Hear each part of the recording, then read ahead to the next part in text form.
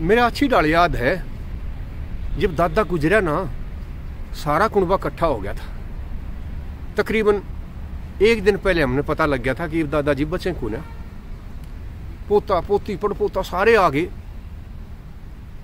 एक एक जना खाट पर बैठ के बात करके आया।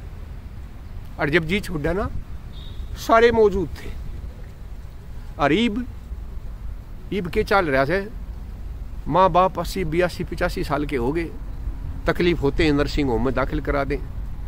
हॉस्पिटल के होटल हैं। अरे बुज़ुर्ग आदमी ने लेटा के खाट पे।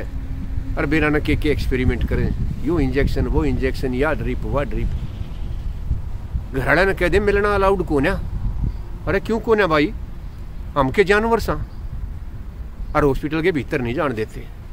और बुज़ुर्ग आदमी आखिरी इस टाइम में तरफ़ तरफ़ के मरे से। कोई उसने न्यू बुझनिया नहीं, तन के तकलीफ़ से? बस एसी हॉस्पिटल और एक बिना दिल और दिमाग की, बिना इमोशन की और बिना अपनेपन की नर्स कह लो, अटेंडेंट कह लो, वो चक्कर लगा जाता है घंटे, दो घंटे में, ना तो तरफ़ तरफ़ के बुज़ुर्ग मरण लाग रहे हैं। इस पैसे ने पता नहीं ये हॉस्पिटल वाले कितने जाएँगे और इतने बढ़िया बढ़िया फाइव स्टार हॉस्पिटल बनाने की ज़रूरत कैसे है अरे बढ़िया इंस्ट्रूमेंट लगाओ। मरीज़ के साथ मानवीय व्यवहार रखो। ठीक पैसे चार्ज करो।